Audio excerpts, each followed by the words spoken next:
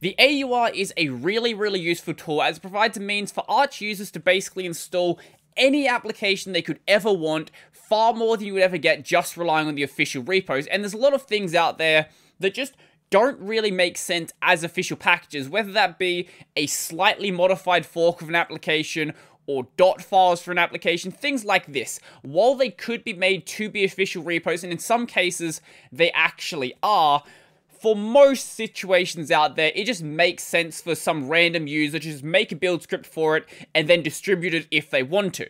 But the AUR does have some issues. One of those issues being, depending on how you define your terms, the AUR isn't a real package repo. Now, this sort of is up to debate, but typically when someone refers to a package repo, they mean something you can actually interact with with your package manager. But when you install something with Pacman, you can't actually install anything from the AUR. You either have to use something like, say, make package to do it manually, or use an AUR helper, but in the end, all an AUR helper is really doing is just running make package in the background anyway. While both these solutions do link it to Pacman, so when you want to go and uninstall the application, you can do it with your system package manager, we're still missing the installation process. But what if it wasn't like this? What if the AUR was still its own separate entity, like how we have the separate community repos, but it had much better support from Pacman? Now, I'm not going to say I came up with this idea completely myself. This was actually inspired from a Discord comment I got from a guy called edX.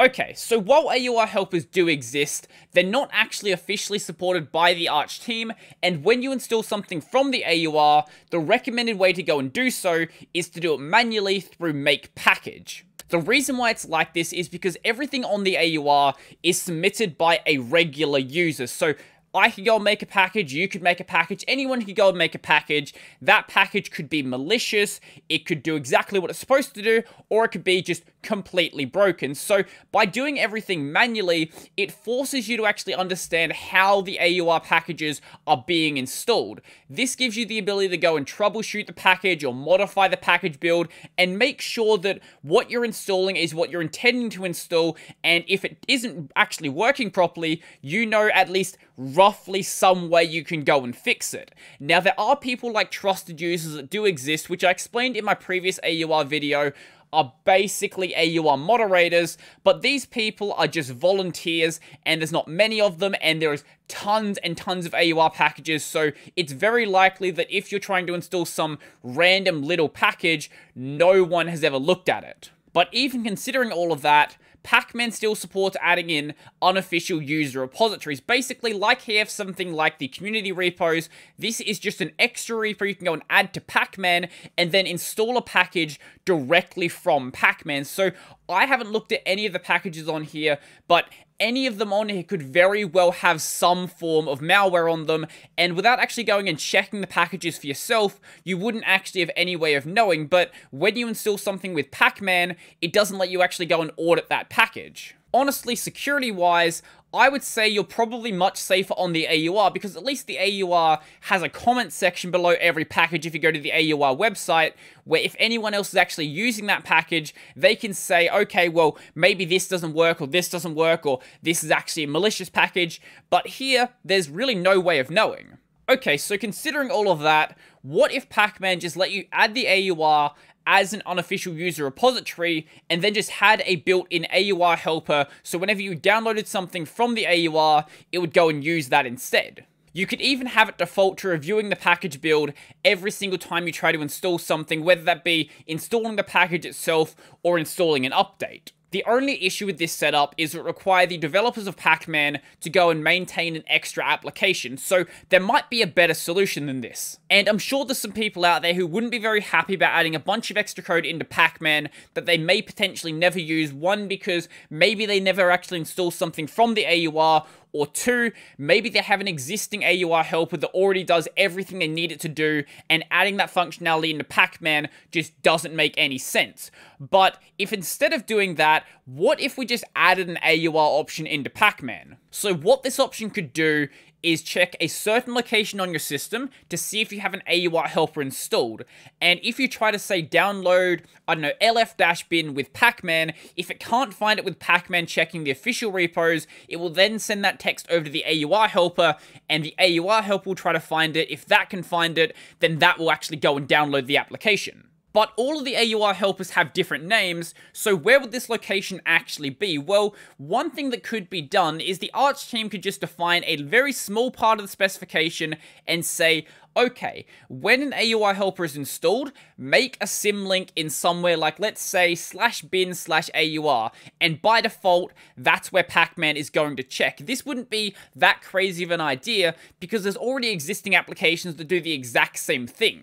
And then if you don't want the symlink to be there, you could have, say, an environment variable called, let's say, pacman AUR helper, and that will define a new path, or I guess you could have a line in the config file for pacman as well that defines a new location. The benefit of the symlink is regardless of whether you have, say, Yaourt or Yay or paru installed, they're all going to be the exact same name when Pacman is trying to find them. And then if the symlink is not set, or maybe the symlink is missing, Pacman can just error out and say, hey, there's no AUR helper here, I can't install this. Really, the only thing that would be required from the Arch team here is just adding a bit to the AUR specification to say, hey, where this location should be, I guess, a minimum subset of what an AUR helper should be able to do without having any options in it, and that's really it. And I guess adding a couple of lines into Pacman to make it so it actually find where the AUR helper is and print out an error message, but compared to the other solution, it is way less code to add.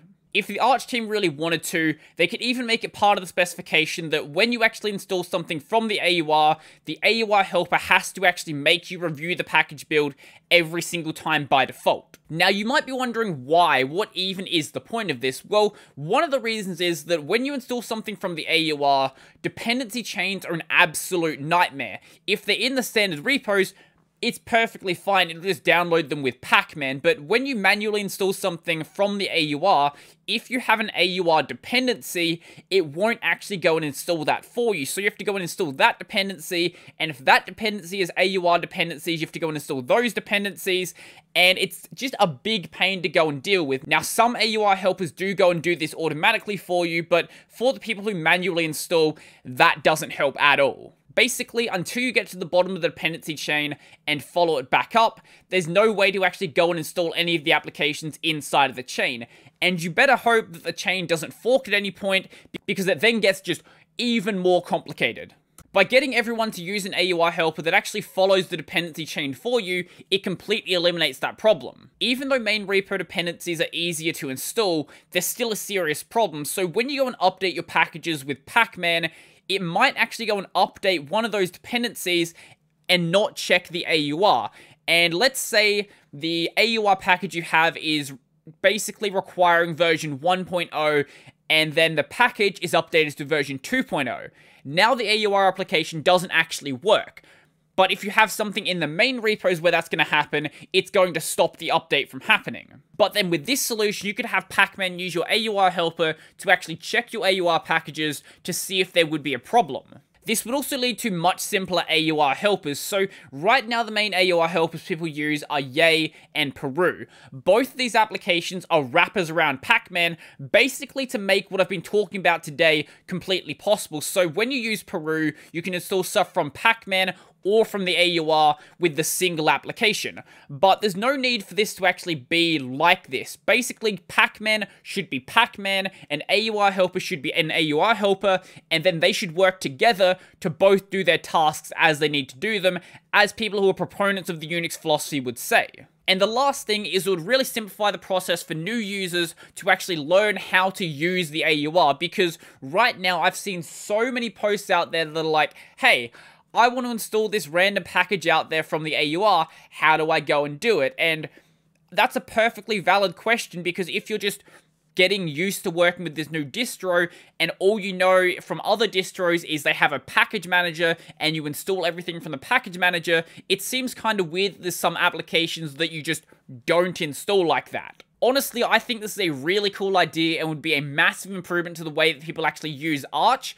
I don't expect it to ever actually happen though, but I can definitely put the idea out there and promote it on my platform. Before I go, I just want to say the typical YouTuber thing 66.1% of you are not subscribed. So if you are enjoying the content, there is the subscribe button down below. If you're on a platform like Odysee or BitChute, subscribing over there does help as well. I don't actually know if it does anything for the algorithm, but it does make it so you'll probably see videos from me. I can't guarantee it though, because sub boxes haven't worked in 10 or so years.